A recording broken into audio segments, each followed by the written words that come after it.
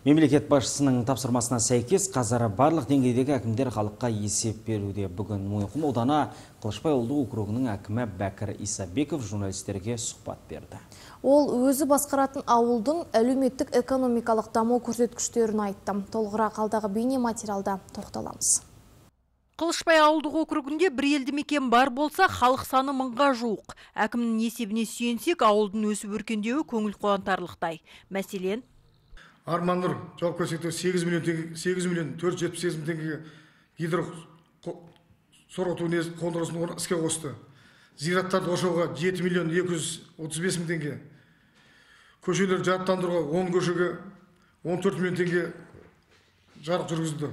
Арықтар тазалауға төрт миллион үш жүз қырық бес мың теңге. Қоқыс ошағы бойынша бір миллион тоқсан жеті мың теңге қылышбай округінде жиырма үшінші жылы асфальттау үш көше толық асфальт салынды 45 миллион теңгеге. Бұл округте ауыл шаруашылық саласы жақсы дамыған. Соның ішінде мал шаруашылығы өнімдерін өндіру көлемі де ұлғаюда. Жыл басынан бері ет өндірісі 69 бүтін оннан төрт пайызға сүт өндірісі 5 пайызға артты.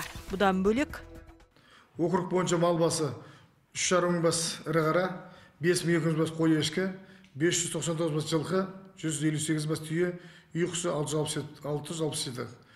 Өткен жылмен салыстырғанда мал бас көбею байқалды. Жыл сайын үкімет шағын орта бизнесті дамытудың қаржыландыру мүмкіндігі қарастырылады.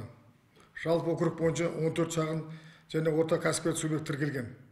Олардың көздесі өте өткен жылдың сәйкес кәсіп кезеңімен салыстырғанда ауыл аманаты жобасына биыл қырық азамат жеке кәсіпкер болып тіркелді.